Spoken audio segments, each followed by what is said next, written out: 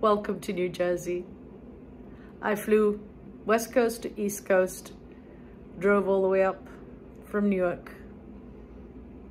And yeah, I am not a fan of city life. I am not a fan of New York and New Jersey traffic, but I'm here and the view from my room is lovely.